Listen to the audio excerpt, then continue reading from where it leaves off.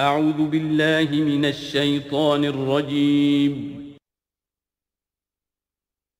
بسم الله الرحمن الرحيم.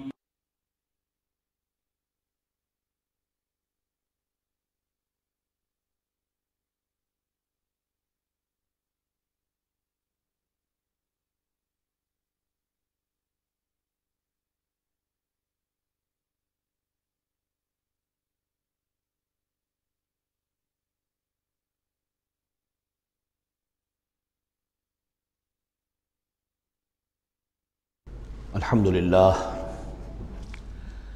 الحمد لله وكفى والصلاة والسلام على عباده الذين اصطفى.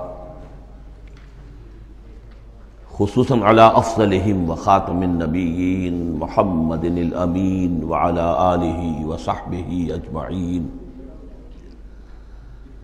أما بعد، فقد قال الله تبارك وتعالى كما ورد في سورة الأحزاب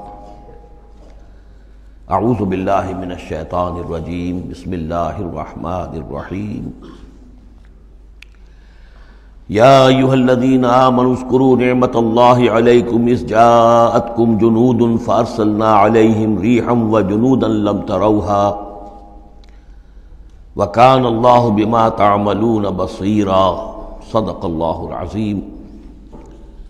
رب اشرح لي صدري ويسر لي أمري واحلل عقدة من لساني يفقهوا قولي. اللهم ربنا ألهمنا رشدنا وأعذنا من شرور أنفسنا. اللهم أرنا الحق حقا وارزقنا اتباعه وأرنا الباطل باطلا وارزقنا اجتنابه. اللهم وفقنا لما تحب وترضى. اللهم ربنا آنس وحشتنا فی قبورنا ورحمنا بالقرآن العظیم. اللہم اجعلہ لنا اماما ونورا وہدا ورحمہ.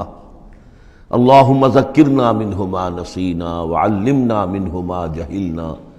وارزقنا تلاوتہ آناء اللیل واطراف النہار. واجعلہ لنا حجتا یا رب العالمین. آمین. سورہ احزاب کے پہلے رکوع کا ہم ترجمہ کر چکے ہیں اور میں بتا چکا ہوں آپ کو کہ اس کا جو مضامین کا سلسلہ ہے وہ اب چوتھے رکوع کے ساتھ جڑے گا۔ درمیان میں جو دو رکوع آئے ہیں، دوسرا اور تیسرا، یہ دونوں غزوہ احزاب کے ضمن میں ہیں۔ غزوہ احزاب کا بھی جو کچھ مختصر سا تاریخی پس منظر اور اس کے حالات میں آپ کو بتا چکا ہوں۔ کہ اللہ تعالیٰ نے ایسی سچویشن پیدا فرما دی کہ جس میں مسلمانوں کے لیے شدید ترین اور سخت ترین امتحان ہو گیا۔ جو میرا اپنا اندازہ ہے، واللہ عالم، ذاتی اعتبار سے جس قدر شدید معاملہ حضور کے ساتھ ہوا ہے، طائف میں۔ ذاتی اعتبار سے۔ ظاہر بات ہے کہ وہاں شخصاً آپ پر ہوئی جاتی جو ہوئی ہے، اور ایک بہت بڑا امتحان۔ اجتماعی سطح پر مسلمانوں کے لیے اسی شدت کا امتحان اور اسی اسی درجے کی آزمائش جو ہے، وہ غزوہ احزاب کے موقع پر آئی ہے۔ بارہ ہزار کا لشکر آ کر مدینے کو گھیر کر پڑ گیا ہے۔ اور یہ کہ مدینے میں نہ صرف یہ کہ کل نفری تین ہزار کی ہے جس میں منافقین بھی ہیں، پھر یہ کہ ان کی پشت پر وہ قبیلہ جو ہے، یہود کا بنو قریضہ ابھی تک اس نے بدہدی نہیں کی تھی، لیکن اب پورا اندیشہ تھا کہ بدہدی کرے گا۔ اور وہ چنانچہ اسی محاصرے کے دوران میں اس نے بدہدی کی بھی، اور ان کی سلسلہ جنبانی ہو بھی گئی تھی۔ باہر سے آنے والے جو حملہ آور تھے ان کے ساتھ۔ بہرحال اس صورتحال میں جبکہ رسد کی بہت کمی تھی، شدید قحط کی کیفیت تھی۔ شدید سردی کا موسم ہے، سردی میں ویسے بھی انسان کو غذا کی زیادہ ضرورت ہوتی ہے۔ اس حال میں پھر خندق کھودنی پڑی مسلمانوں کو۔ تو یوں سمجھیے کہ جو شدید ترین امتحان ہو سکتا تھا وہ اللہ نے لے لیا، جس کا نتیجہ کیا نکلا؟ جو منافق اپنے دلوں میں نفاق کو چھپائے ہوئے تھے، وہ نفاق ظاہر ہو گیا، ان کی زبانوں پر آ گیا۔ اور یہی اصل میں آزمائش کا اصل مقصود ہے۔ لیمیز طیبہ من لیمیز من الطیب، کہ اللہ تعالیٰ خبیص کو اور طیب کو علیحدہ علیحدہ کر دے، ممیز کر دے۔ جیسا کہ سورہ عنکبوت کے ہم نے پہلے رکوع میں دو مرتبہ ولا یعلمن اللہ الذین صدقوا ولا یعلمن الکاذبین ولا یعلمن الذین آمنوا ولا یعلمن المنافقین اللہ تعالیٰ واضح کر دے گا، کھول کر رکھ دے گا کہ کون ہے سچے اور کون ہے جھوٹے یعنی کون ہے حقیقت مومن اور کون ہے منافق۔ تو اس کا یہ فنومنن ہے، یہ گویا کہ جیسے کہ اس وقت سن پانچ میں، سن پانچ نبوی میں شدید ترین حالات ہو گئے تھے غلاموں کے لیے، نوجوانوں کے لیے۔ ظاہر بات ہے کہ حضور پر تو اس طرح کی دسترادی نہیں کر سکتے تھے مکے کے لوگ۔ لیکن غلام تھے یا نوجوان تھے، ان کے اوپر جو ہے جس طریقے، جس شدید قسم کی آزمائش آ گئی تھی۔ اسی طرح کی گویا کی آزمائش سن پانچ نبوی میں یہ غزوہ احزاب کی شکل میں بدنی دور میں آ گئی ہے۔ یہ پانچ ہجری ہے، وہ پانچ نبوی ہے یا الذین آمنوا اذکروا نعمت اللہ علیکم، اہل ایمان، یاد کرو اللہ کے اس انعام کو جو تم پر ہوا۔ اس جات کم جنود جب تمہارے پاس تمہارے تم پر حملہ آور ہوئے، بہت سے لشکر، بنو غطفان آئے، بنو سدارہ آئے مشرق کی طرف سے، اور جنوب اور مغرب کی طرف سے جو ہے چلے آ رہے ہیں قریش، اور ان کو جو ہے پوری سپورٹ حاصل ہے شمال سے یہود کی۔ ان میں وہ کہ بنو نظیر بھی ہیں، کہ جو مدینہ ہی سے نکالے گئے تھے، اور اس کے علاوہ یہ کہ خیبر کے یہودی بھی ہیں۔ فارس اللہ علیہم ریحن تو جب وہ لشکر آ گئے تم پر حملہ آور ہوئے، تو ہم نے ان پر ایک آندھی بھیج دی، ایک تیز جھکڑ بھیج دیا۔ بجرود لم تروہا وہ آندھی تو تم نے بھی دیکھی کہ آندھی آئی ہے، لیکن یہ کہ اور لشکر بھی ہم نے اتارے تھے جو تم نے نہیں دیکھے یعنی فرشتے۔ وکان اللہ بما تعملون بصیرہ اور جو کچھ تم کر رہے تھے، اللہ اسے دیکھ رہا تھا۔ کون اب، کس کے منہ پر، کس کی زبان پر نفاق آ گیا ہے؟ کس کا ایمان اور پختہ ہو گیا ہے۔ تو یہ ایک جملے میں گویا کہ پوری داستان کو تو اللہ نے سمو لیا۔ بیس پچیس دن تک محاصرہ رہا، اکا دکا مبارزت ہوئی۔ عمر ابن عبد ود آیا۔ وہ ان کا بہت ہی پورے عرب کا معنی ہوا جو ہے، وہ شہ سوار بھی تھا اور بہت بڑا وہ لڑاکا آدمی، نوے برس کی عمر۔ لیکن یہ کہ اس کے مقابلے میں آنے کی کوئی ضرورت نہیں کرتا تھا۔ جب وہ آیا ہے اور اس نے اپنے گھوڑے کو وہ ایڑ لگائی ہے کہ چھلانگ مار کر پوری جو تھی وہ خندق اس کو اس کو پار کر کے آ گیا اور اکیلا ادھر آ کے کھڑا ہو گیا کہ آؤ، کوئی ہے تمہارا مقابلہ، وہ جو مجھ سے کر سکے۔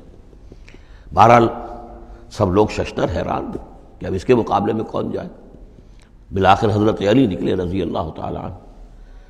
تو حضرت علی نے اس سے کہا، بلکہ اس نے کہا، میرے مقابلے میں جو کوئی بھی آتا ہے، میری عادت ہے یہ کہ میں اسے پہلے تین مواقع دیتا ہوں کہ وہ کوئی درخواست مجھ سے کرے جو منظور کر لوں۔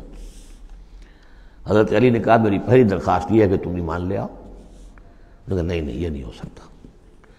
اچھا دوسری درخواست میری یہ ہے کہ تم جنگ سے واپس چلے جاؤ۔ انہوں نے کہا، یہ بھی نہیں ہو سکتا۔ تیسری بولو، تو حضرت علی نے فرمایا اچھا آؤ، اب پھر مقابلے میں آؤ۔ یہ تیسری درخواست یہ کہ آؤ، مجھ سے مقابلہ کرو۔ تو وہ ہنسا کہتا لگایا کہ میرا اندازہ نہیں تھا کہ پورے عرب میں کوئی شخص مجھے یہ بھی کہہ سکتا ہے کہ مجھ سے آؤ مقابلہ کرو۔ بہرحال حضرت علی نے اسے واصل جہنم کیا، رضی اللہ تعالی عنہ وارضاہ۔ تو اس قسم کی اکی دکی مبارزتیں ہوئیں کوئی باقاعدہ جس کو کہتے ہیں، کوئی مٹ بھیڑ لشکروں کی، وہ نہیں ہو سکی۔ لیکن یہ کہ پچیس دن کا محاصرہ طول کھینچ گیا تھا ادھر، وہ حضرت نعیم ابن مسعود اشجعی نے جو بھی کچھ سلسلہ جنبانی کیا کوئی سری جھوٹ تو نہیں بولا، لیکن یہ کہ ایک توریہ کے انداز میں ایسی شکل پیدا کر دی کہ جس سے بڑی قریضہ کے اور ان کے درمیان بھی کم سے کم بد اعتمادی ضرور پیدا ہو گئی فوری طور پر۔ پھر وہ آندھی آئی، شدید، اور اللہ نے جو فرشتے بھیجے، انہوں نے کیا کیا یہ ہمیں نہیں معلوم، کیا شکل اختیار کی کہ بہرحال وہ سب کے سب اپنے پڑاؤ اٹھا کر اور چلے گئے۔ لیکن جو اس دوران صورت رہی ہے اس کا نقشہ کھینچا جا رہا ہے۔ اس جاؤ کو من فوقکم و من اسفل منکم، جبکہ وہ آئے لشکر تمہارے اوپر سے بھی، تمہارے نیچے سے بھی۔ یہ جو جغرافیائی جو سلسلہ ہے عرب کا میں نے کئی دفعہ آپ کو بتایا ہے کہ شمالن جنوباً یہ جو حجاز کا پہاڑی سلسلہ چلتا ہے، شمالن جنوباً، اسی میں مکہ ہے، طائف ہے، مدینہ ہے، اسی کے آخر میں اوپر جا کر تبوک ہے۔ تو اس پہاڑی سلسلے اور ساحل کے درمیان ایک میدان ہے، یہ تہامہ کہلاتا ہے، تہامہ نیچے ہے۔ بہرحال میدان ہے وہ، تو اب پہاڑی سلسلہ آیا۔ پھر یہ کہیں تیس میل، کہیں چالیس، کہیں پچاس میل چوڑا جو یہ پہاڑی سلسلہ اس کے بعد جو آتا ہے، وہ سطح مرتفع ہے، وہ اونچی سطح ہے۔ لیکن مرتفع اس میں پہاڑی سلسلہ نہیں ہے، سطح ہے۔ تو اس جاؤ کو من فوق کے کم تو گویا کہ جو ادھر سے آئے ہیں، وہ اوپر سے آئے ہیں، جو مشرق سے آئے بنو غطفان وغیرہ کے جو قبائل آئے اور من من اسفل من کم نیچے سے، جو تہامہ کی طرف سے ہو کر آئے ہیں، وہ قریش کا لشکر جو ہے کہ جو مکے سے ہو کر آیا ہے۔ وہی زاغت الانصار اور جبکہ نگاہیں کج ہو گئی تھی جسے ہم کہتے ہیں کہ نگاہیں پتھرا گئی خوف کے بارے۔ وہ بلغت القلوب الحناجرا اور جب دل جو ہے، وہ حلق میں آ گئے تھے، ہنسلیوں میں آ کر پھنس گئے تھے۔ جب آدمی کے اوپر دہشت ہو تو اس طریقے سے معلوم ہوتا ہے، جسے ہم کہتے ہیں دل بلیوں اچھلنے لگا۔ تو معلوم ہوتا ہے جب دل کی دھڑکن تیز ہوتی ہے کہ شاید وہ نکل جائے گا یہاں سے۔ وہ تجنون اب اللہ اور تم پھر اللہ کے بارے میں بڑے طرح طرح کے گمان کر رہے تھے۔ اب دل میں تمہارے خیال آ رہے تھے۔ ہنال کب المومنون اس وقت اہل ایمان کا خوب امتحان لے لیا گیا۔ ابتلا خوب ہم نے کر لی، جانچ لیا، پرکھ لیا۔ وہ زلزلو زلزال شدید اور وہ ہلا مارے گئے جھجوڑ دیے گئے۔ وہ یقول المنافقون، اب نتیجہ کیا نکلا؟ جبکہ کہہ رہے تھے وہ منافق، والذین فی قلوبہم مرض اور جن کے دلوں میں روب تھا۔ ما وعدنا اللہ ورسولہ اللہ غرورا۔ ہم سے اللہ اور اس کے رسول نے جو وعدے کیے تھے، جھوٹے ثابت ہوئے۔ ہمیں سبز باغ دکھا کے مروا دیا اللہ نے اور اس کے رسول نے۔ ہم سے کہا تھا کیسر و کسرا کی سلطنتیں تمہارے قلبوں میں آئیں گی۔ ہم سے کہا تھا، اللہ کی مدد آئے گی۔ یہ کہاں اللہ کی مدد آئی؟ بعض منافقین نے کہا، ہمارا حال تو یہ کہ ہم قضائے حاجت کے لیے باہر نہیں جا سکتے۔ ہیں ہم مدینے کے اندر محسور ہو گئے ہیں۔ ظاہر بات ہے کہ سینیٹیشن کا بھی کوئی نظام نہیں تھا، کس قدر وہاں پر اس سے ایک مسئلہ پیدا ہو چکا ہو باہر نکل نہیں سکتے بالکل۔ تو قضائے حاجت وغیرہ بھی وہی ہو رہی ہے۔ یہ ان کے منہ پر جو ہے، ان کی زبانوں پر جو اندر کا خبز تھا، اندر کی گندگی تھی، زبانوں پر آ گئی۔ ما وعد اللہ و رسول اللہ غرورا۔ نہیں وعدہ کیا تھا ہم سے اللہ اس کے رسول نے، مگر جھوٹا، دھوکے کا وعدہ۔ وہ اس قالت طائفت من یا اہل یسرم اور جبکہ ان میں سے ایک گروہ یہاں تک کہہ رہا تھا، اے یسرم والو، لا مقام لکم فرجعو، اب تمہارا کوئی ٹھکانہ نہیں ہے، لوٹ جاؤ یہاں سے، کہاں تم مقابلہ کر سکتے ہو؟ یہ بارہ ہزار کا لشکر آ گیا کوئی ممکن ہے؟ کوئی امکان تمہیں نظر آتا ہے؟ تو کسی طریقے سے کہیں سے بھاگنے کے لیے راستہ تلاش کرو۔ وہ استاد فریقم منہم النبیہ اور ان میں سے ایک گروہ جو ہے آ کر نبی سے اجازت طلب کر رہا تھا۔ یقول ان بیوتنا اورا اور وہ کہہ رہا تھا کہ ہمارے تو گھر کھلے پڑے ہوئے ہیں۔ یعنی گھروں کو اندیشہ ہے، گھروں کے اوپر پیچھے سے بنو قریضہ کے لوگ حملہ آور ہو جائیں۔ ہماری عورتیں وغیرہ جو ہم نے چند چند حویلیوں کے اندر جن کو جمع کیا ہے، آپ نے یہی کیا تھا حضور نے صلی اللہ علیہ وسلم۔ خواتین کو، بچوں کو ایک ایسی جگہ پر کہ جہاں وہ وسطی علاقہ تھا مدینے کا، اور وہاں بڑی کوئی حویلی تھی، اس میں جمع کر دیا تھا۔ تو وہ تو ہمیں تو اندیشہ ہے، ہمارے گھر خالی پڑے ہوئے ہیں، اس کے اوپر حملہ ہو سکتا ہے۔ وما ہی اب اور حالانکہ وہ نہیں کھلے پڑے ہوئے تھے، اللہ تعالیٰ نے اور اللہ کے رسول نے پہرے وغیرہ کا بندوبست کیا ہوا تھا۔ ان یریدون اللہ فرارا، حقیقت میں وہ فرار چاہتے تھے، بھاگنا چاہتے تھے۔ یہ تو بہانہ تھا جو بنا رہے تھے۔ اصل میں جنگ سے پیٹھ دکھا کر بھاگنا مقصود تھا۔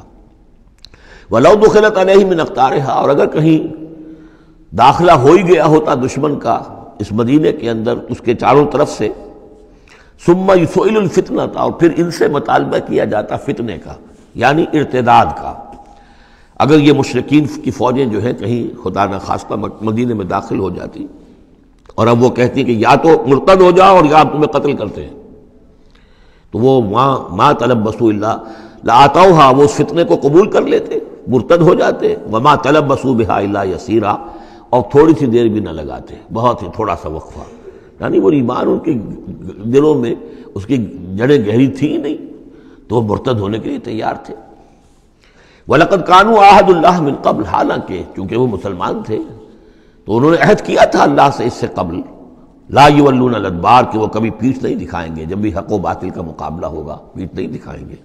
وکان عہد اللہ مسئولہ اور یقیناً اللہ کے ساتھ جو عہد کیا گیا، اور پھر اس کے بارے میں باس پرس ہوتی ہے کہ وہ عہد پورا کیا گیا یا نہیں کیا گیا۔ کل نہیں الفاقم الفرار و انفرر تم الموت ہے نبی ان سے کہہ دیجیے کہ تمہیں یہ بھاگنا اور فرار مفید نہیں ہو سکتا اگر تم موت سے بھاگ رہے ہو۔ اب القتل یا قتل سے۔ اس لیے کہ موت تو ہر جگہ آ سکتی ہے۔ وہ عز اللہ تم تعاون اللہ کلیلہ اور آج موت نہ آئی، فرض کیجیے، اس موقع پر نہ آئی، تب بھی آخر دنیا میں کوئی سامان رسنے بسنے کا جو ہے، رہنے کا وہ آخر لا محدود تو نہیں ہے۔ لا طلب ثم لا تم اللہ تم تعاون اللہ کلیلہ نہیں تمہیں ساز و سامان ملے گا دنیا کی زندگی کا، مگر تھوڑا سا، کچھ دن اور جی لو گے۔ کل منز الزی آسم من اللہ۔ ان سے پوچھئے کون ہے وہ جو تمہیں اللہ سے بچا سکے؟ ان اراد بکم سوءن اگر اللہ ہی نے فیصلہ کر لیا ہو تمہارے بارے میں کسی بری چیز کا۔ او اراد بکم رحمہ۔ اور اگر اللہ نے رحمت کا فیصلہ کیا ہو تو کون ہے جو اس کی رحمت کے آڑے آ سکے؟ ولا یجدون الحم دون اللہ ولی ونا نصیرہ اور یہ نہیں پائیں گے اللہ کے مقابلے میں نہ کوئی ولی، حمایتی اور نہ مددگار۔ قد یعلم اللہ المعوقین منکم تم میں سے اے نام نہاد مسلمانوں، اے منافقوں، ہمیں خوب معلوم ہے، اللہ کو خوب معلوم ہے کہ کون ان میں سے روکتے ہیں دوسروں کو کہ مت جاؤ، محاذ پر مت جاؤ۔ جیسا کہ میں بتا چکا ہوں کہ دو طرف تو حرات تھے، ادھر سے حفاظت تھی۔ پیچھے بنو قریضہ تھے، چونکہ وہ معاہد تھے، ان سے معاہدہ تو موجود تھا، لہذا اس اعتبار سے بظاہر وہ بھی محفوظ تھا، ادھر سے حملہ نہیں ہو سکتا تھا۔ اگرچہ اندیشہ ہر وقت تھا کہ کبھی وہ بھی دگا دیں، تو پھر یہ ہے کہ چکی کے دو پارٹوں کے درمیان مسلمان آ جائیں گے۔ لیکن جو سامنے کا علاقہ تھا، وہاں وہ خندق، وہ جو ہے کھود دی گئی، اور خندق سے ادھر جو ہے وہ مسلمان مورچہ لگا کے بیٹھے ہوئے۔ تو اب اس جو بھی وہ محاذ بنتا تھا، اس پر کوئی نہیں جاتا تھا، روکتے تھے، ادھر مت جاؤ، کہاں جا رہے ہو؟ قد یعلم اللہ المعوقین منکم تم میں سے جو لوگ روکتے ہیں دوسروں کو۔ والقائلین لاخوانہم حلم الینا اور جو کہتے ہیں اپنے بھائیوں سے، آؤ ہماری طرف آؤ، گھروں میں گھس جاؤ، چھپ جاؤ، تمہارا جو ہے کہیں نام و نشان نہ رہے۔ کہاں جا رہے ہو؟ موت کے منہ میں۔ ولا یاتون الباس اللہ کلیلہ اور وہ نہیں آتے، حاضر نہیں ہوتے جنگ میں یعنی میدان جنگ میں، جہاں پر کہ فوجوں کا پڑاؤ ہے، آمنے سامنے کا معاملہ، مگر کبھی کسی وقت۔ شاز اشیحتن علیکم، اے مسلمانوں، یہ تمہارے حق میں بہت بخیل ہے، کوئی خیر نہیں چاہتے تمہارے لیے۔ یہ خیر خواہ نہیں ہے، تمہارے بدخواہ ہے فیضا جال خوف اور رائتا ہوں اور جب اگر خوف اگر چلا جائے، یہ لشکر چلے جائیں، یہ خوف کی کیفیت ختم ہو جائے رائتا ہوں اذا جا خوف جب خوف آتا ہے، خوف کی کیفیت پیدا ہو جاتی ہے۔ خوفناک صورتحال رائتا ہوں یندرون لے کا تو اے نبی آپ ان کو دیکھتے ہیں کہ آپ کی طرف ایسے دیکھ رہے ہوتے ہیں، تدور و آئینہم کاللذی یخشا من الموت، کہ ان کی آنکھیں ایسی پھرتی ہیں جیسے کہ اس شخص کی آنکھ پھرا کرتی ہے کہ جس پر موت کی غشی تاری ہو رہی ہو۔ کیونکہ اب مرحلہ آ گیا خطرے کا، پھر جنگ ہے، پھر جانا پڑے گا، پھر وہی ساری صورتحال، سارے اندیشے، سارے خطرات تو گویا کہ ان کو موت کی غشی اور نزا کی کیفیت کی میں جو ہوتی ہے، آنکھیں جس طرح کے پتھرا جاتی ہیں یا پھرتی ہیں، اس طریقے سے تدور و آئینہم کل لذی یخشا علیہ من الموت۔ فیضا ذہب الخوف، اور جب خوف چلا جائے، ختم ہو جائے یعنی وہ صورتحال جیسے کہ بعد میں ہو گئی کہ چلے گئے، لشکر جب چلے گئے، تو اب ان کا طریقہ کار کیا ہے؟ فیضا ذہب الخوف سلقوکم بألسلت حداد۔ اب وہ تم پر پل پڑتے ہیں اپنی لوہے کی زبانوں کے ساتھ یعنی زبانیں قینسیوں کی طرح چلنی شروع ہو جاتی ہیں۔ مسلمانوں پر تنقید بھی ہے، اپنے ایمان کا اظہار بھی ہے چرف زبانی بھی ہے۔ تو حداد لوہے کی جیسی جیسے کی زبانیں لوہے کی ہوں، تو ہمارے محاورے میں قینسی کی طرح زبان کا چلنا۔ سلق جو ہے عربی محاورے میں، عربی لغت میں آتا ہے بس تم بقہرن اما بالید او باللسان۔ کسی کے پر حملہ آور ہونا یا ہاتھ سے یا زبان سے۔ تو سلقوکم بالسنت حداد اشیحت الخیر اور پھر جو بھی کوئی مال غنیمت ہوگا، اس کے اوپر یہ ایسے ہوں گے، جھکے پڑیں گے کہ مال سارا ہمیں ہی مل جائے۔ اولائک لم یومنو یہ وہ لوگ ہیں کہ جو حقیقتا ایمان نہیں لائے۔ فاحبت اللہ اعمالہم تو اے نبی، انہوں نے اس کیفیت میں جو بھی کوئی نیکیاں کی ہیں، بظاہر نیکیاں، آپ کے امامت میں نمازیں بھی تو پڑھی ہیں نا انہوں نے۔ آخر مدینہ منورہ میں وہ نمازیں پڑھتے تھے منافق۔ کس کی امامت میں؟ محمد الرسول اللہ کی امامت میں۔ کس مسجد میں؟ مسجد نبی میں۔ لیکن ان کے سارے اعمال حمت ہو گئے۔ فاحمت اللہ اعمالہم۔ اللہ نے ان کے تمام اعمال اکارت کر دی وکان ذالک علی اللہ یسیرا۔ اور یہ چیز اللہ پر بہت آسان ہے۔ یا سبون الحضاب علم یزبو جبکہ جا چکے ہیں لشکر۔ ان کا حال یہ ہے کہ ان کے اوپر ابھی تک خوف تاری ہے۔ جیسے ہوتا ہے کہ کسی بڑے حادثے کے بعد بھی بہت دیر تک آساب کے اوپر جو ہے وہ ایک طرح کی کپ کپی تاری رہتی ہے انسان کے سنسناٹ سی رہتی ہے، اتنا بڑا حادثہ ہوا ہے۔ یا سمون الحضاب علم یزبو یہ سمجھتے ہیں کہ وہ گئے نہیں ہیں، کہیں ادھر چھپ گئے ہوں، کہیں پھر دوبارہ آ رہے ہوں، کہیں حملہ دوبارہ تو نہیں کر رہے ہیں۔ یہ کوئی ان کے ٹیکٹیکل موو تو نہیں تھی کہ ذرا پیچھے ہٹ کے پھر حملہ آور کریں۔ یا سمون الحضاب علم یزبو یہ سمجھتے ہیں کہ وہ لشکر گئے نہیں ہیں۔ وہی یات الحضاب اور اگر کہیں دوبارہ وہ لشکر جو ہیں، وہ فوجیں جو ہیں، دوبارہ کہیں حملہ آور ہو جائیں یودم بادون فی العراب، تو ان کی بڑی خواہش ہوگی، کاش کہ ہم مدینے کو چھوڑ کر کہیں ریگستانوں میں چلے گئے ہوتے اور کہیں نخلستانوں میں جا کر آراب آراب کی حیثیت کے ساتھ ہم ہم ان کے ساتھ چلے گئے ہوتے بادیا نشینوں کے پاس یا سلون کا نم اور وہاں سے مسلمانوں تمہاری خبریں معلوم کرتے رہتے۔ اب کیا ہوا؟ اونٹ کس کروٹ بیٹھا؟ ولا کانو فیکم ما قاتل اللہ کلیلہ اور اگر یہ تمہارے درمیان موجود بھی رہے تو قتال میں تو حصہ نہیں ہو لیتے۔ مگر شاس دکھانے کے لیے، خانہ پوری جسے ہم کہتے ہیں۔ اب ایک کردار تو یہ ہے جو سامنے آ گیا۔ دوسرا کردار کیا ہے؟ لقت کان لکم فی رسول اللہ اسوت الحسنہ دوسرے کردار کا جو دوسری تصویر ہے، اس کا جو خورشید ہے، سورج ہے، وہ محمد الرسول اللہ کا کردار ہے۔ فرمایا، اے مسلمانوں، تمہارے لیے اللہ کے رسول میں ایک اسوا ہے، نمونہ ہے، بہترین نمونہ۔ اب یہ بات نوٹ کرنے کی ہے کہ یہ آیت ہمارے ہاں سیرت کی تقاریر ہوں، کوئی میلاد کی محفلیں ہوں، کوئی واز ہو تو اس میں بہت پڑھی جاتی ہے یہ آیت اسوا حسنہ۔ لیکن عام طور پر ہمارے یہاں اسوا حسنہ کیا ہے؟ چھوٹی چھوٹی سنتیں، ان کا تذکرہ ہوگا۔ مسواک کرنا بھی اسوا ہے، ٹھیک ہے ہے۔ اسی طریقے سے اور سنتے ہیں۔ مسجد میں داخل ہو تو دہنا پاؤں آگے آنا چاہیے، بایاں نہیں، ٹھیک ہے۔ ہونا چاہیے، ایک شخص کو کرنا چاہیے، اہتمام کرنا چاہیے، حضور کا یہی معمول تھا۔ یہ سب بھی اسوے میں شامل ہے اصل اسوا یہ ہے، کفر کے مقابلے میں جان ہتیلی پر رکھ کر میدان میں آنا، یہ ہے اسوا۔ یہ اسوا ہماری نگاہوں سے اوجل محمد الرسول اللہ کا مثالی کردار کس اعتبار سے؟ جب بھوک تھی شدید، حضور کو بھی بھوک تھی اور فاقہ تھا۔ جب صحابہ نے آ کے شکایت کی کہ حضور اب ناقابل برداشت ہو گئی ہے یہ بھوک۔ دیکھیے ہم نے اپنے پیٹوں پر پتھر باندھے ہوئے ہیں۔ تاکہ یہ کہ میدے کو وہ جو ہنگر کنٹریکشنز ہوتی ہیں وہ نہ ہو اس کو کم سے کم جھوٹا ہی صحیح ایک دلاسا ہو کہ کچھ بوجھ ہے میرے اوپر۔ وہ بوجھ چاہے پتھر کا ہو، کھانے کا نہ ہو۔ یہ سب پتھر باندھے ہوئے کمر دوہری نہ ہو جائے ہماری۔ حضور نے اپنا کرتا اٹھا کے دکھایا، وہاں دو پتھر بندے ہوئے۔ اور اسی حال میں جب جب صحابہ کدالیں چلا رہے ہیں اور کھود رہے ہیں، تو حضور جو ہے اپنے کندھے پر بڑے بڑے پتھر اٹھا کر لے جا کر اور باہر پھینک رہے ہیں۔ اسی میں آپ شریک ہیں پوری طریقے سے۔ یہ ہے اس وقت۔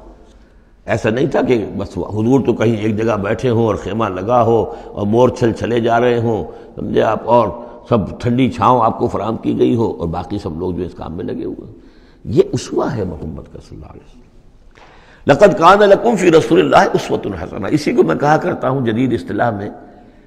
ایک ہے میکرو اکنامکس اور ایک ہے مائکرو اکنامکس تو مائکرو سنت کو تو لوگ جانتے ہیں، یہ سنت ہے، یہ سنت ہے۔ اس میں سے بعض کے بارے میں بڑے جھگڑے بھی ہیں رفع دین سنت ہے یا نہیں ہے۔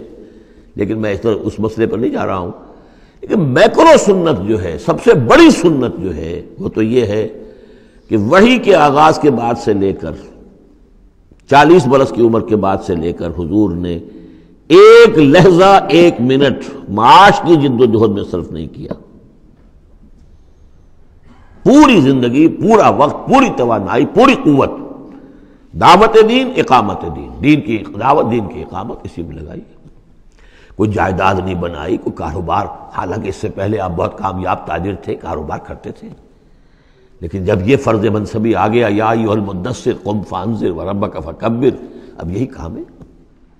تو کچھ تو اس کی بھی پیروی کرنے کی کوشش کی جائے۔ اس درجے میں نہ صحیح، وہ عکس تو ہو۔ میکرو سنت جو ہے، کسی درجے میں تو اپنی زندگی کے اندر اس کا عکس پیدا کیا جائے۔ ہاں اس کے ساتھ پھر چھوٹی چھوٹی سنتیں بھی ہو جاؤں تو کیا کہنے ہیں؟ پھر نور نور ہے۔ لیکن یہ اس میکرو سنت کا تو ہے ہی نہیں۔ اپنے تو ساری توانائی، ساری طاقت، سارا وقت دنیا بنانے میں۔ تو لقد کان لکم فی رسول اللہ اسوت الحسنت لمن کان یرج اللہ والیوم الاخر۔ بڑی اہم آیت ہے یہ۔ اسوا تو حضور کا اپنی جگہ پر مکمل ہے، کامل ہے۔ لیکن یہ کس کے لیے اسوا ہے جو یہ دو شرطیں پوری کرے، تین شرطیں؟ جو اللہ سے ملاقات کا امیدوار ہے، اللہ سے محبت کرتا ہے، اور یوم آخر پر یقین رکھتا ہے، اور ذکر اللہ کا سیرا اور ذکر کرتا ہے اللہ کا کثرت کے ساتھ۔ یہ بالکل وہی بات ہے کہ قرآن مجید تو ہدایت ہے پوری نوع انسانی کے لیے حد الناس لیکن قرآن سے استفادے کی شرط ہے تقوا حد للمتقین۔ تو جو ربط و تعلق ہے ان دو آیتوں میں، وہی سمجھیے کہ اپنی جگہ پر حضور کی زندگی ایک اسوہ کاملہ ہے، مکمل۔ لیکن اس سے استفادے کی شرائط ہے لمن کانا یرج اللہ والیوم الاخرہ و ذکر اللہ کثیرہ اب یہ اہل ایمان، حضور کے بعد اہل ایمان کا تذکرہ ہو رہا ہے۔ محمد الرسول اللہ والذین معاہو اب معاہو جو تھے اہل ایمان، ولما رال مومن الاحزاب اور جب اہل ایمان نے دیکھا ان لشکروں کو قالوا هذا ما وعد الله ورسوله وصدق الله انہوں نے کہا یہی تو ہے جس کا اللہ نے وعدہ کیا تھا ہم سے اور اس کے رسول نے وعدہ کیا تھا۔ اب دیکھیے ایک ہی سچویشن ہے۔ اس کا ریئیکشن کس قدر ایک دوسرے سے مختلف ہے۔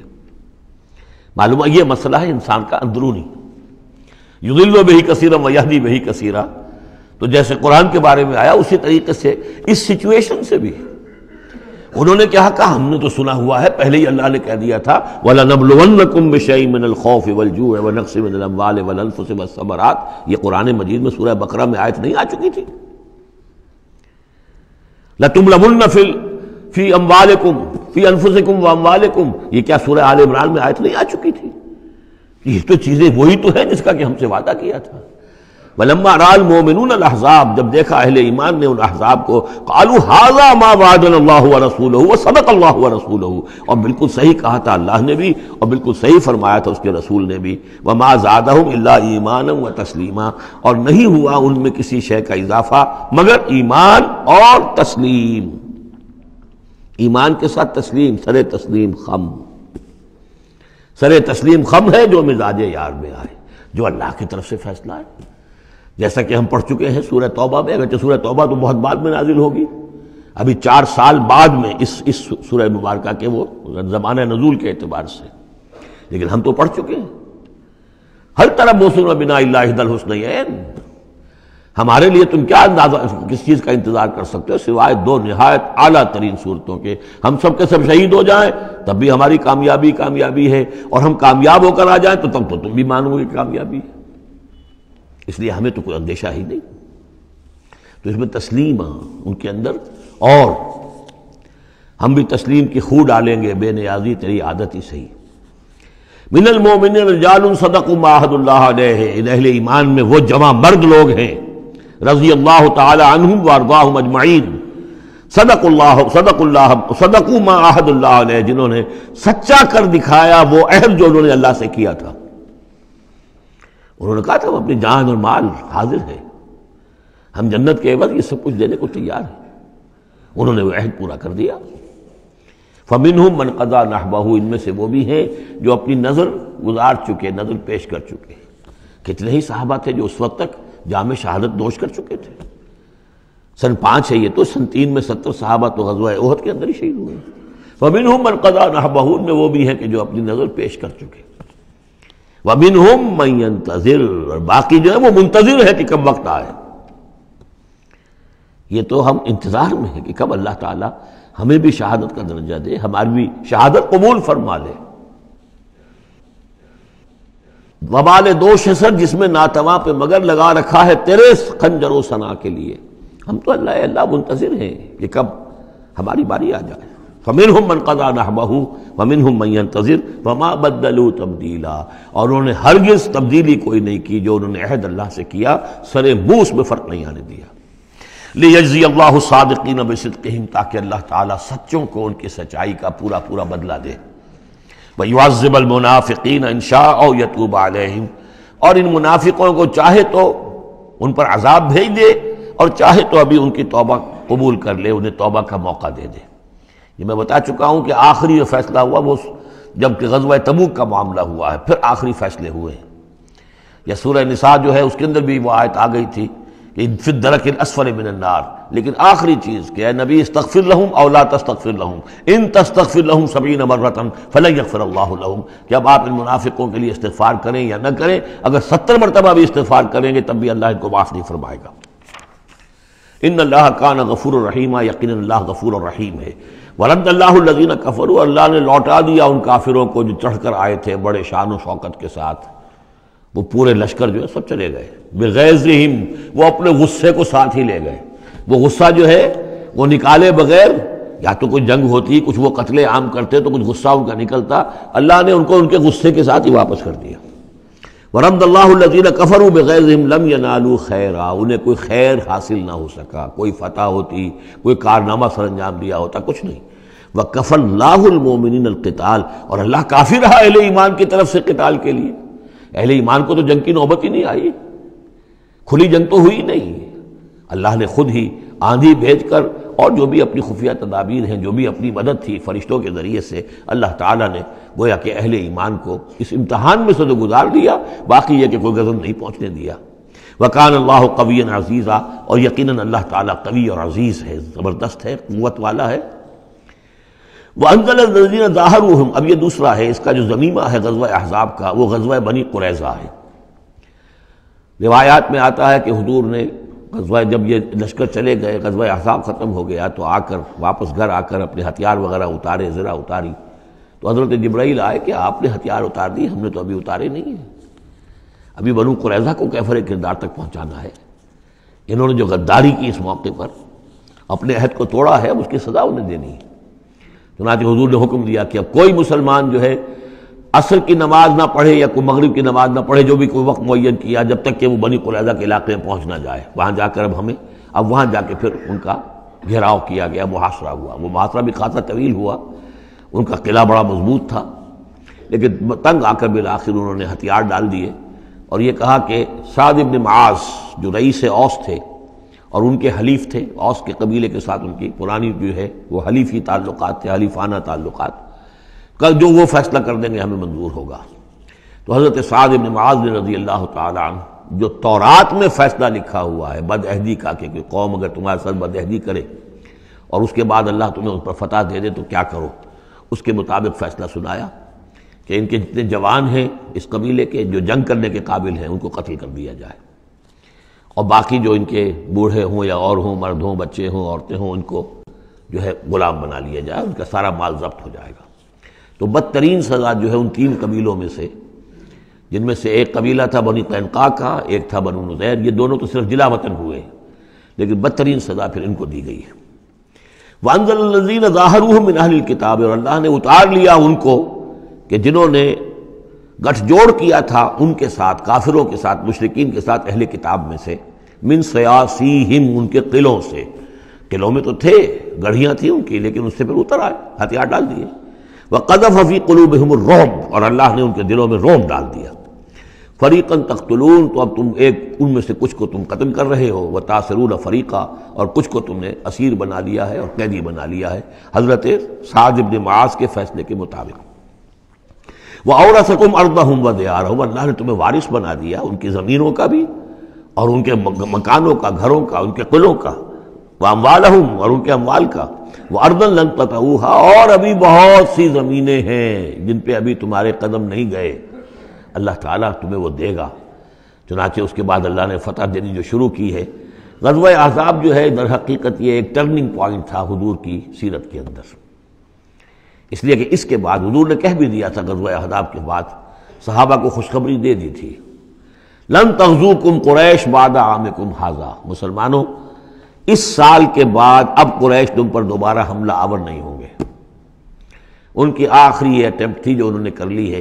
اب ان میں ہمت نہیں ہوگی کہ وہ دوبارہ چڑھائی کر کے آئیں۔ بلا کن تم تخزون بلکہ اب تم چڑھائی کرو گے۔ وہ چڑھائی اگلے ہی سال سن چھ میں حضور نے کی، لیکن حضور نے کس طرح کی چڑھائی کی کہ عمرے کے لیے جا رہے ہیں ہم تو؟ ہتھیار نہیں ہے، ہتھیار بند ہے، احرام باندھا ہوا ہے۔ اب ایک ایک ایسی سچویشن پیدا ہوئی مکے والوں کے لیے، نہ وہ نگلا جائے نہ اگلا جائے، کہ ان کی پرانی روایات ہیں یہ کہ کسی کو بھی عمرے کے لیے، حج کے لیے کوئی آئے کوئی آئے، اسے نہیں روک سکتے۔ لیکن مسلمانوں کو کیسے آنے دیں؟ اور روکے تو کیسے روکیں بالآخر انہوں نے فیصلہ کیا، ہم کسی ضرورت نہیں آنے دیں گے۔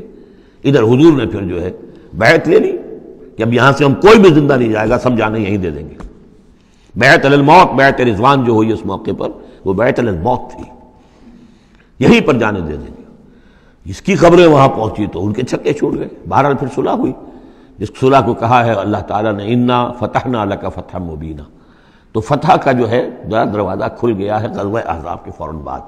اور اسی کی طرف اشارہ ہے وہ ارض لم تتوہا ابھی بہت سی زمینیں جن پر ہے مسلمانوں تمہارے قدم نہیں پہنچے، تمہارے قدم نہیں پہنچے، ابھی تم نے گھوڑے نہیں دوڑائے ہیں، ابھی وہ تو زمینیں۔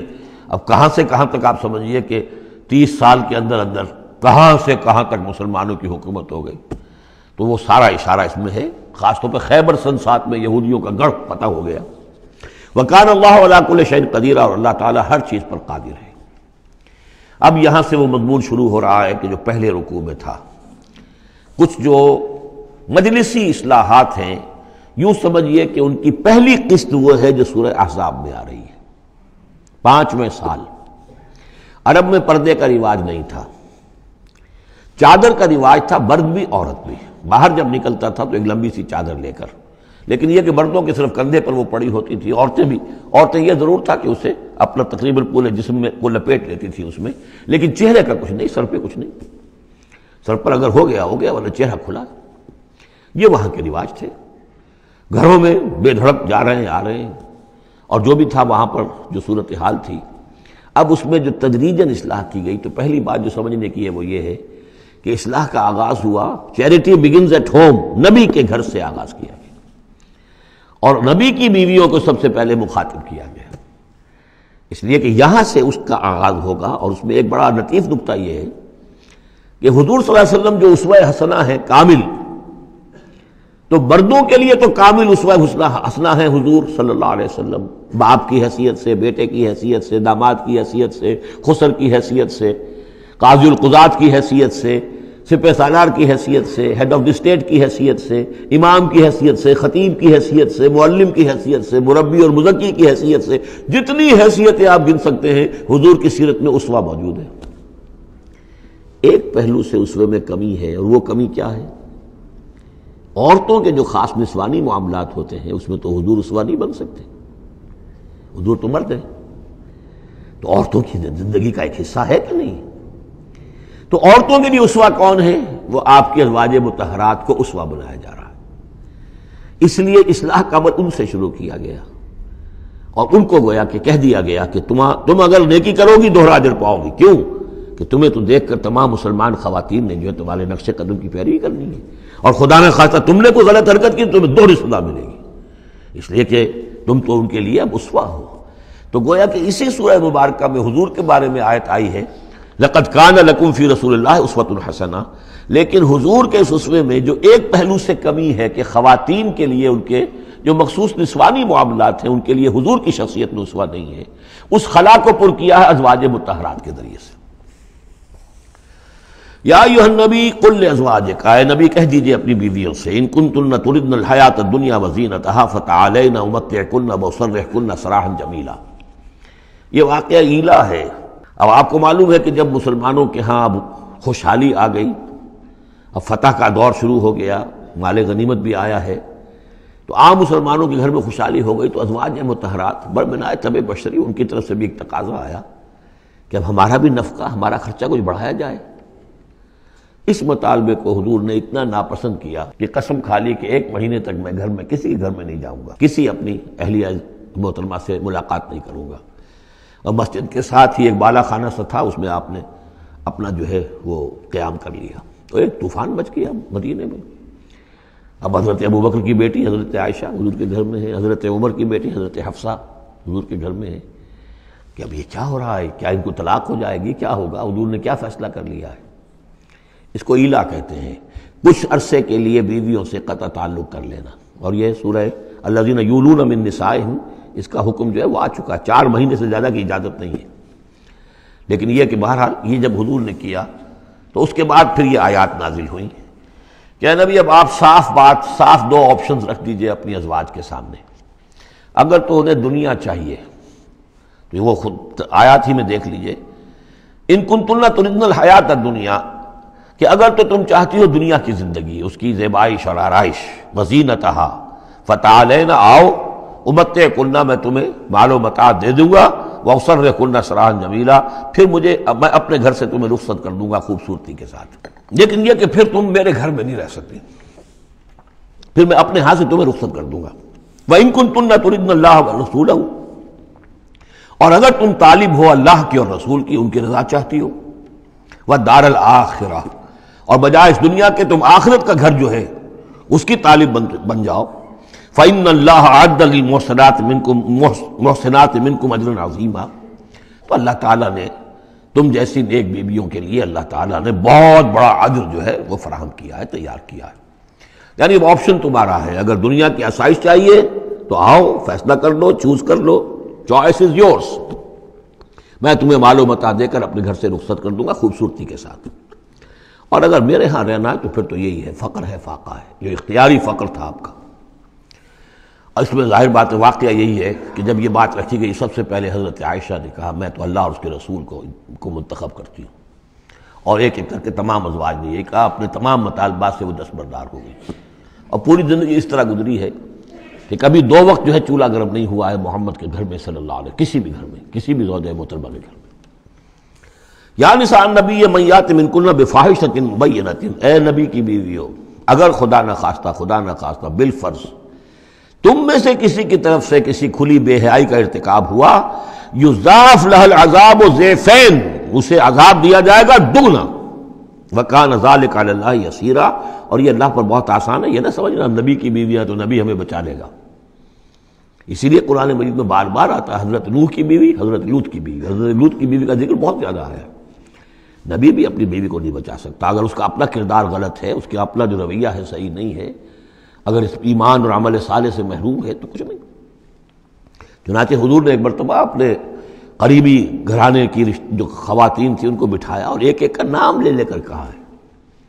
یا فاطمہ بنت محمد صلی اللہ علیہ وسلم انقذی نفس کے من النار، فانی لا املک لک من اللہ شیئا۔ اے فاطمہ، محمد کی بیٹی، خود اپنے آپ کو آگ سے بچاؤ، نکالو اپنے آپ کو آگ سے، اپنے عمل سے۔ اس لیے کہ مجھے اللہ کے ہاں کوئی اختیار تمہارے بارے میں حاصل نہیں ہوگا۔ اگر فاطمہ کے بارے میں نہیں تو پھر کس کے بارے میں؟ یا صفیت و امت و رسول اللہ۔ اے صفیہ، اللہ کے رسول کی پھوپھی۔ القضی نفس کے من النار، فانی لا املک لک من اللہ شیئا۔ اپنے آپ کو جہنم کی آگ سے بچانے کی کوشش کرو۔ اس سے نکالو اپنے آپ کو۔ اور میں قیامت کے دن، میں اللہ کے محاسبے کے وقت میں تمہارے کام نہیں آ سکوں گا۔ وہ میں من کن اللہ و رسول ہی تو اب جو کوئی بھی تم میں سے اللہ اور اس کے رسول کی اطاعت پر کار بند ہو جائے، فرما برداری اختیار کرے، وہ تامل صالحن اور نیک عمل کرے، نوتہا اجرہا مرتین، تو اسے ہم اس کا اجر بھی دیں گے دوہرا۔ غلطی کرو گی تو سزا دو دگنی، اور صحیح طرز عمل ہوگا، ایمان رب سالے والا تو اجر بھی تمہارا دگنا ہوگا۔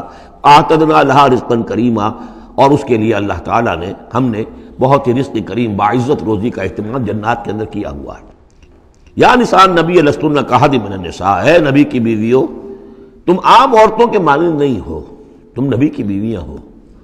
یہاں اس کو سمجھ لیجیے مراد کیا ہے کہ تمہیں اسوا بننا ہے امت کی تمام خواتین کے لیے، تا قیام قیامت۔ لستن کہا دی من النساء۔ اب پہلی ہدایت یہ دی گئی تقیتن فلا تخزعن بالقول۔ ظاہر بات ہے، وہ پہلی یوں سمجھیے کہ جو میں معاشرے کا نقشہ میں کھینچ چکا ہوں، تو لوگ آتے تھے، گفتگو کرتے تھے، بے دھڑک۔ پہلی بات تو یہ آپ نے فرمائی کہ اگر تم تقوا دل میں رکھو اور لوگوں سے بات کرتے ہوئے اپنی آواز میں لوچ پیدا نہ کرو، نرمی پیدا نہ کرو۔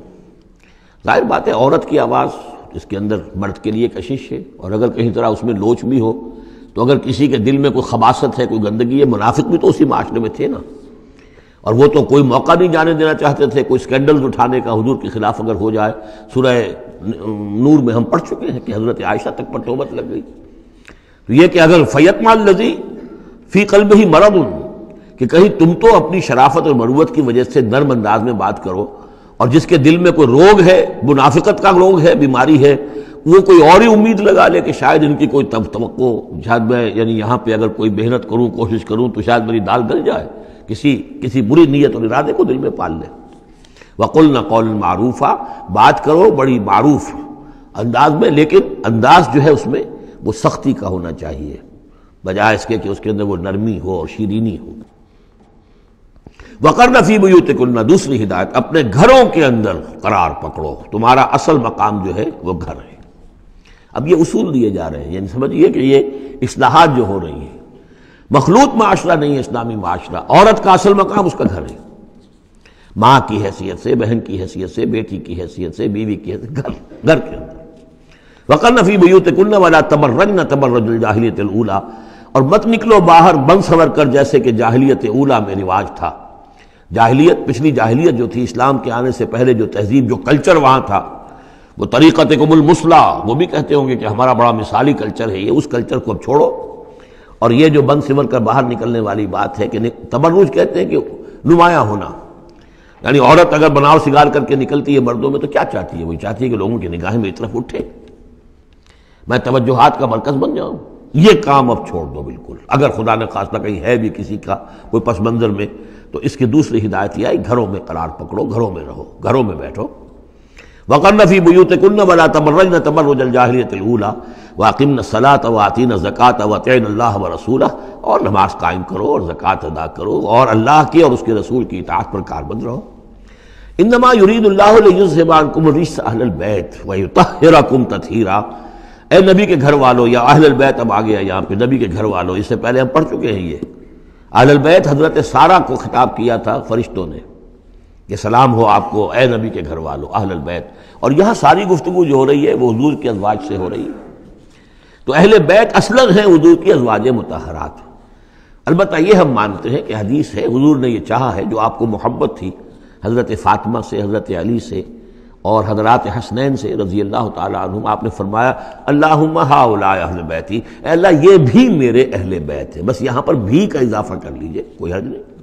اصل اہل بیت ازواج متحرات ہے لیکن اے اللہ، یہ بھی میرے اہل بیت ہے تو فرمایا، اے نبی کے گھر والوں یعنی اے نبی کی بیویوں اللہ تعالیٰ یہ چاہتا ہے کہ تم سے ہر نو کی برائی کو، گندگی کو بالکل دور کر کے تمہیں پاک اور صاف کر دے یو تحرکم تطہیرا۔ پوری طرح پاک اور صاف کر دے۔ کیوں؟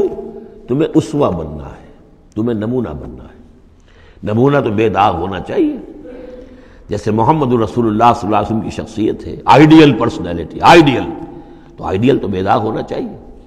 اسی طریقے سے تمہیں، تم جس مقام پر ہو کہ اب خواتین امت کے لیے پوری امت مسلمہ کی عورتوں کے لیے تمہیں اسوا بننا ہے۔ وسکرنا مایوتلافی بیوت کننا اور ذرا یاد کیا کرو، جو کچھ کے تلاوت کی جاتی ہے تمہارے گھروں میں، من آیات اللہ اللہ کے آیات میں سے۔ تمہارے گھروں میں وہی اترتی ہے، محمد الرسول اللہ صلی اللہ علیہ وسلم۔ بلکہ ایک خاص جو مقام ہے حضرت عائشہ کا، وہ تو حضور نے فرمایا ہے کہ کسی اور میری بیوی کے لحاف میں، جبکہ ایک ہی لحاف میں حضور بھی تھے اور حضرت عائشہ بھی تھی تو مجھ پر وہی نازل نہیں ہوئی سوائے عائشہ کے لحاف کے۔ لحاف کے اندر بھی وہی نازل ہو رہی ہے۔ وہ تو دل پہ نازل ہوتی تھی، اس کے اندر تو کوئی دروازے نہیں کھولنے پڑتے تھے کہ حضرت جبریل آئے، دروازہ کھولو، پھر وہی لے کر آئے ہیں۔ وہ تو یہ کہ فرشتہ ہے اور دل پر نازل کر رہا ہے۔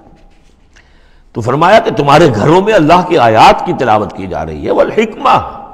اور نبی کی زبان مبارک سے جو حادیث ہے جو آپ بیان کر رہے ہیں، سب سے بڑھ کر تو تمہارے سامنے آ رہی ہے حکمت حکمت نبوی۔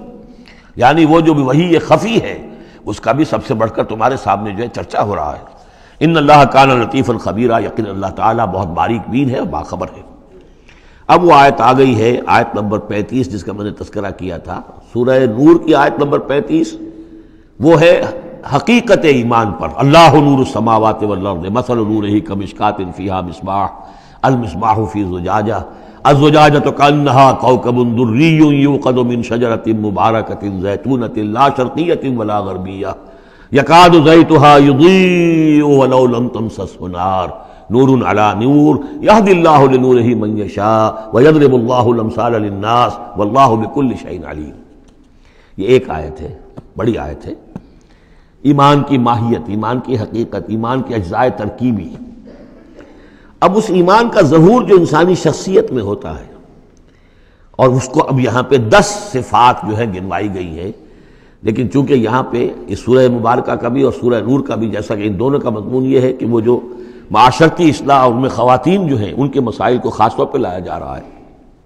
تو عام طور پر تو قرآن میں یہ ہے کہ جو حکم بھی ہے وہ مذکر کے سیغے میں آ جاتا ہے، مردوں سے خطاب کر کے، لیکن عورتیں بھی اس کی مخاطب ہیں۔ اسے برسمیل تغلیب کہتے ہیں، قاعدہ ہے۔ کہ بظاہر خطاب ہے عقیم الصلاح، مذکر کا سیغہ ہے، لیکن یہ خطاب جو ہے، یہ عورتوں سے بھی ہے۔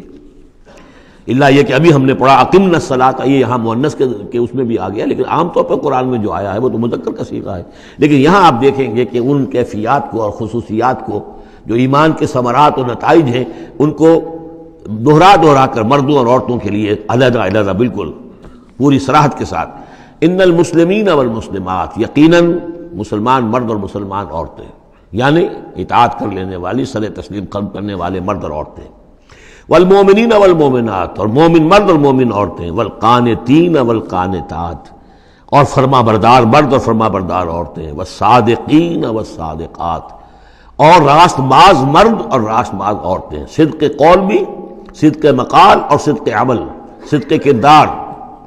بس صابرین بس صابرات اور صبر کرنے والے مرد اور صبر کرنے والی عورتیں، والخاشعین والخاشعات، اور اللہ کے سامنے جھکے رہنے والے مرد اور جھکے رہنے والی عورتیں، والمتصدقین والمتصدقات، اور اللہ کے لیے صدقہ دینے والے مرد اور صدقہ دینے والی عورتیں وہ سائمین و سائمات اور روزہ رکھنے والے مرد اور روزہ رکھنے والی عورتیں، والحافظین فروجہ والحافظات اور اپنے شرمگاہوں کی حفاظت کرنے والے مرد اور اپنی شرمگاہوں کی حفاظت کرنے والی عورتیں۔ بس ذاکرین اللہ کثیرم و ذاکرات اور کثرت کے ساتھ اللہ کا ذکر کرنے والے مرد اور ذکر کرنے والی عورتیں۔ عد اللہ لہم مغفرت اجر عظیمہ اللہ تعالیٰ نے ان سب کے لیے مغفرت اور بہت بڑا اجر تیار کر رکھا ہے۔ اللہ ربنا جعلنا منہم اللہ ربنا جعلنا منہم اب وہ مسئلہ آ رہا ہے کہ جس کی تمہید ہوئی تھی پہلے رکوع میں، حضرت زینب رضی اللہ تعالیٰ عنہ سے حضور کی شادی کا معاملہ۔ اور اس سے پہلے حضور کے کہنے کی وجہ سے حضرت زینب کا نکاح جو حضرت زید ابن حارثہ سے ہوا۔ پھر زید ابن حارثہ رضی اللہ تعالیٰ عنہ نے جو ان کو طلاق دینی چاہی۔ پھر حضور کے دل میں جو یہ خیال ہوا کہ میں نے پہلے تو حکم دے کر نکاح پر مجبور کیا، اب اگر یہ داغ لگ جاتا ہے زینب کو تو گویا کہ پھر تو ایک ہی شکل رہ جائے گی اس کی دل جوئی کی، تلافی کی کہ میں خود نکاح کروں۔ اب میں خود نکاح کروں گا تو چونکہ زید میرا منہ بولا بیٹا رہا ہے پہلے، ایک طوفان اٹھ کھڑا ہوگا۔ حالانکہ اس میں بات کوئی نہیں تھی، لیکن یہ کہ حضور نے اس کی وجہ سے یہ سمجھا کہ یہ مسلحت کے خلاف ہوگا۔ تو اسی گویا کہ آپ اسی ششپنج میں تھے کہ آیات نازل ہو گئی پہلی آیت میں تذکرہ ہے اس کا کہ جو حضور کے کہنے کی بنا پر حضرت زینب اور ان کے بھائی آمادہ ہوئے نکاح پر، ورنہ وہ آمادہ نہیں تھے، زید ابن حارثہ سے نکاح پر۔ وما كان لمؤمن ولا مؤمنة اذا قضى الله ورسوله امرا ان يكون لهم الخيرة من امرهم یہ کسی بھی مومن مرد اور کسی بھی مومن عورت کے لیے یہ روا نہیں ہے کہ جب اللہ اور اس کا رسول کسی شے کا فیصلہ کر دیں، تو پھر بھی انہیں یہ خیال ہو کہ ہمارے پاس آپشن باقی ہے، ہمیں اختیار حاصل ہے۔ وَمَن يَعْصِ اللَّهَ وَرَسُولَهُ فَقَدْ ضَلَّ ضَلَالًا بَعِيدًا اور جو اللہ اور اس کے رسول کی نافرمانی کریں گے، انہوں نے تو گویا کہ بہت بڑی گمراہی جو ہے وہ حاصل کر لی۔ تو یہ گویا کہ ایک تو یہ کہ اس کو عام ہم لیں گے تو یہ ہر ہر معاملے کے اوپر ہے کہ اللہ اور اس کے رسول کے فیصلے کے بعد پھر میں یہ سمجھوں کہ میرے پاس کوئی آپشن ہے تو اس کا مطلب ہے کہ میں اللہ کا انکار کر رہا ہوں، رسول کا انکار کر رہا ہوں۔ پس منظر میں وہی ہے کہ حضور کی فرمائش جو تھی ابتدان تو چونکہ امیمہ ابن عبد المطلب حضور کی پھپھی تھی جن کی بیٹی ہیں حضرت زینب۔ اب یوں سمجھیے کہ قریش کا اونچا خاندان ہے۔ اور ادھر یہ ہے کہ حضرت زید ابن حارثہ غلام رہے ہیں، اگرچہ تھے شریف خاندانوں میں سے عرب کے، لیکن کبھی انہیں کہیں پکڑ کر کہیں کسی نے لا کر غلام بنا کر بیچ دیا تھا، تو داغ تو لگ گیا غلامی کا۔ اور اس معاشرے میں وہ داغ پھر دھلتا نہیں تھا ایک دفعہ۔ ایک دفعہ لگ جانے کے بعد۔ تو اس وجہ سے اب انہوں نے حضور کے لیے، حضور کے فرمانے کی وجہ سے نکاح کیا۔ اس کے بعد نہیں، ان کی نبھی آپس میں۔ اور اس میں گمان غالب یہی ہے کہ حضرت زینب انہیں وہ نہیں دے سکیں احترام اور ادب اور ان کی مرضی پر چلنے کا معاملہ، جیسا کہ ایک عورت کو فصالحات و قانتات الحافظات للغیب، جو رویہ ہونا چاہیے، اب وہ اپنے جذبات اور احساسات کے اوپر اس درجے جو ہیں وہ کنٹرول نہ کر سکی لہذا ان کے مابین جو ہے وہ موافقت نہیں ہوئی۔ تو حضرت زید نے کئی دفعہ کہا کہ حضور میں پھر ان کو فارغ کر دینا چاہتا ہوں، طلاق دینا چاہتا ہوں۔ اس تقول انعام اللہ علیہ وانعمت علیہ امسک لے کر زوجک اے نبی، جب آپ کہتے تھے اب اس شخص سے کہ جس پر اللہ نے بھی انعام فرمایا اور آپ نے بھی انعام فرمایا، آپ نے اسے آزاد کر دیا اپنا منہ بولا، بیٹا بنایا تھا، یہ دوسری بات ہے کہ اللہ نے وہ بات ختم کر دی۔ یہ تو زید ابن محمد کہلاتا تھا، اب یہ زید ابن حادثہ رہ گیا دوبارہ۔ آپ اس سے کہتے رہے، ہم سے کا لے کر زوجک نہیں، اپنی بیوی کو روکے رکھو، گھر میں آباد رکھو، ذرا اور کوشش کرو، ذرا اور کہ مزاجوں کی موافقت ہو جائے۔ وہ تقلّہ اللہ سے ڈرو، اللہ کا تقوی اختیار کرو۔ وہ تخفیفی نفس سے کم اللہ مبدی ہے اور آپ اپنے دل میں چھپائے ہوئے تھے وہ بات جو جس کو کہ اللہ تعالیٰ اللہ مبدی جسے اللہ تعالیٰ کھولنا چاہتا ہے۔ وہ تخشناس آپ لوگوں سے ڈر رہے تھے۔ وہ اللہ حق کو انتخشا ہو جبکہ اللہ زیادہ حقدار ہے اس کا کہ آپ اس سے ڈرے فلما قضا زید ودمنہا وطرن تو جب زید نے اس سے آخری قطع تعلق کر لیا یعنی زکوٰۃ بھی دے دی، وہ طلاق بھی دے دی اور پھر عدت بھی پوری ہو گئی۔ زوجنا کہا اے نبی، ہم نے تجویز کر دی ہے اس کی تمہارے ساتھ۔ زوجہ بنا دیا ہے، ہم نے نکاح کر دیا ہے۔ حضرت زینب پھر یہ کہا کرتی تھیں، دوسری ازواج متحرات سے فخر کرتی تھیں کہ تمہارے نکاح سب کے جو ہیں زمین پر ہوئے، میرا نکاح آسمان پر ہوا ہے۔ جب حضور نے شادی کی ان سے پھر، تو اللہ نے نکاح کیا، اللہ نے نکاح پڑھایا ہے۔ زوج نہ کہا ہم نے اسے آپ کی زوجیت میں دے دیا۔ کہ لا یقون المومنین حرج فی ازواج ادی تاکہ یہ آئندہ کے لیے یہ جاہلی رسم کا خاتمہ ہو جائے اور منہ بولے بیٹوں کی بیویوں کے بارے میں اہل ایمان پر کوئی تنگی نہ رہے۔ منہ بولا بیوی تھی اس کی بیوی تھی، آپ شادی کر سکتے ہیں۔ اسی طریقے سے اگر وہ اس کو طلاق دے دی ہے شادی کر سکتا ہے۔ یہ محرمات ابدیہ میں سے نہیں ہے۔ محرمات ابدیہ کی فہرست سورہ نساء کے اندر آ چکی ہے۔ وکان امر اللہ مفولہ اور یہ تو اللہ کا وہ فیصلہ تھا کہ جو بہرحال پورا ہو کر رہنا تھا۔ یعنی یہ سب کچھ جو ہوا ہے نبی، اس میں بھی ہماری حکمت تھی، مصلحت تھی۔ کسی اور کے ذریعے سے یہ بات ہوتا تو یہ رسم ٹوٹتی نہ بعض چیزیں رسمیں ایسی ہوتی ہیں کہ اتنی گہری ہوتی ہیں، ان کے اوپر لوگوں کا اتنا جو وسوخ ہوتا ہے یہ تو جب تک آپ کے ذریعے سے یہ رسم جو ہے غلط نہ ٹوٹتی، تو اس کے ٹوٹنے کا امکان نہیں تھا۔ ہم نے اس کے لیے یہ سارا معاملہ کیا ہے۔ ماں کان علی النبی من حرج فیما فرض اللہ له۔ نبی پر کوئی حرج نہیں ہے۔ کوئی مذائقہ نہیں ہے اس چیز میں جو اللہ نے اس کے اوپر عائد کر دی ہے، فرض کر دی ہے۔ سنت اللہ سنت اللہ فی الذین خلو من قبل۔ اور یہ اللہ کا وہ طریقہ ہے جو ان لوگوں کے بارے میں رہا جو پہلے گزر چکے اللہ کے نبیوں کے ساتھ، رسولوں کے ساتھ اللہ کا یہی معاملہ رہا ہے۔ وکان امر اللہ قدرم مقدورا۔ اور یہ تو اللہ کا وہ معاملہ تھا کہ جو گویا کہ طے تھا، مقرر ہو چکا تھا، ہماری مشیت میں یہ پہلے سے طے تھا۔ الذین یبلغون رسالات اللہ ہے وہ اللہ کے نبی کہ جو ہم اللہ کے پیغامات کو پہنچانے پر معمور ہوتے ہیں وہ یکشون اور صرف اسی سے ڈرتے ہیں، ولا یکشون احد اللہ اور نہیں ڈرتے کسی اور سے اللہ کے سوا۔ وہ کفا بلّہ حسیبہ اور اللہ تعالیٰ کافی ہے کفایت کرنے والا یا حساب لینے والا۔ ماں کان محمد البا احد رجالکم دیکھو، محمد تم میں سے کسی مرد کے باپ نہیں ہے۔ حضور کو اللہ تعالیٰ نے اولاد نرینہ نہیں دی، جو دی تھی بچپنی میں اسے اٹھا لیا۔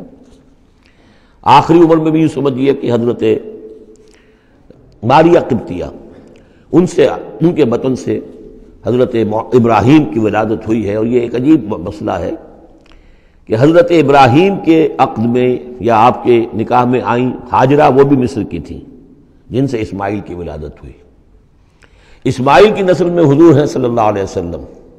پھر مصر ہی سے ایک ماریہ قبطیہ آ رہی ہیں۔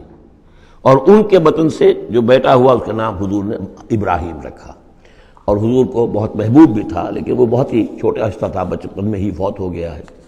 اور حضور کو اس کا افسوس بھی ہوا۔ یا ابراہیم و انا فراق کا محضون یا ابراہیم، ہم تمہاری جدائی سے بڑے محضون ہیں، ہمیں رنج ہے۔ بہرحال ماں کانا محمد البا احد مرزا کو تمہارے مردوں میں سے کسی کے باپ نہیں ہے۔ یہ زید ابن حارثہ کے باپ نہیں ہے۔ زید ابن حارثہ منہ بولا بیٹا تھا۔ اب جبکہ ہم نے حکم نازل کر دیا ہے، اب وہ سارا سلسلہ منقطع ہو گیا۔ ولاکن رسول اللہ و خاتم النبیین بلکہ یہ اللہ کے رسول ہیں اور نبیوں کی مہر ہیں۔ اب نبوت ختم ہو رہی ہے ان پر۔ اب کوئی نبی آنے والا نہیں۔ لہذا جتنی بھی رسومات جاہلیت کی تھیں، اگر ان کے ذریعے سے وہ ختم نہ ہو تو پھر کس کے ذریعے سے ختم ہوگی؟ یہ ہے اس میں جو دلیل مزمن ہے کہ یہ جو کڑوا گھونٹ ہے محمد صلی اللہ علیہ وسلم تو آپ کو کرنا ہی تھا۔ اس لیے کہ یہ جاہلانہ رسمیں جو ہیں اگر آپ اس کے اندر یہ اقدام نہ کرتے اور آپ نے اپنے منہ بولے بیٹے کی بیوی سے اگر شادی نہ کی ہوتی تو یہ رسم ختم نہیں ہو سکتی تھی اور یہی بات بتائی جا رہی ہے لوگوں کو ماں کان محمد البا احد کو رسول اللہ و خاتم النبیین وہ تو اللہ کے رسول ہے اور خاتم النبیین۔ اب اس میں ایک بڑا باریک نقطہ ہے، وہ نوٹ کر لیجیے۔ رسالت حضور کی دائم و قائم ہے، چل رہی ہے ابھی تک۔ فرق صرف یہ ہے کہ اس وقت تک براہ راست آپ بنفس نفیس اپنی رسالت کے فرائض ادا کر رہے تھے۔ اب بائی پروکسی ہے، اب امت کے ذریعے سے ہے۔ جو بھی آپ کے امتی ہیں، جو بھی دین کے خادم ہیں، جو بھی قرآن کے پیغام کو پہنچا رہے ہیں، جہاں جہاں تک پہنچا رہے ہیں، وہ رسالت محمدی کا پیغام پہنچ رہا ہے۔ رسالت محمد کی ہے صلی اللہ علیہ وسلم۔ جیسے کہ ہم نے سورہ نام میں آیت پڑھی تھی، اوہی الیہ حاضر قرآن لانذرکم بہی ومن بلغ. اے نبی ان سے کہہ دیجیے، یہ قرآن مجھ پر وہی کیا گیا ہے تاکہ اس کے ذریعے سے میں تمہیں بھی خبردار کر دوں اور جسے بھی یہ قرآن پہنچ جائے۔ اسی لیے امت کو آپ ہدایت دے کر گئے تھے فل یبلغ شاہد الغائبہ اب یہ تمہارا کام ہے اس قرآن کی تبلیغ کرو اور پہنچاؤ۔ جو بھی یہاں نہیں ہے ان تک پہنچاؤ۔ تو گویا کہ رسالت محمدی ختم نہیں ہوئی ہے، رسالت محمدی تو چل رہی ہے۔ لہذا ختم کا لفظ جو آیا ہے وہ رسالت کے ساتھ نہیں آیا، نبوت کے ساتھ آیا۔ نبوت ختم ہو گئی، جب وہی کا دروازہ بند ہو گیا، نبوت ختم ہو گئی۔ نبوت محمدی آپ کی ذات کے ساتھ تھی۔ وہ جیسے ہی آپ کی ذات جو ہے، وہ اس دنیا سے اس نے پردہ کیا، اس کے ساتھ ہی آپ کی وہ نبوت کا دروازہ بند ہو گیا۔ لیکن رسالت محمدی وہ تو دائم و قائم ہے۔ اسی لیے یہاں دیکھیے ولاکر رسول اللہ ہے وخاتم النبیین۔ آپ تو اللہ کے رسول ہیں اور دائم ہیں اور قائم ہیں اور خاتم النبیین ہیں اور نبیوں کی مہر ہیں۔ وقان اللہ بک الشعین علیمہ اور یقیناً اللہ تو ہر چیز کا علم رکھنے والا ہے۔ بارک اللہ علی ولکم فی القرآن العظیم۔ و نفانی ویاکم بالآیات و ذکر حکیم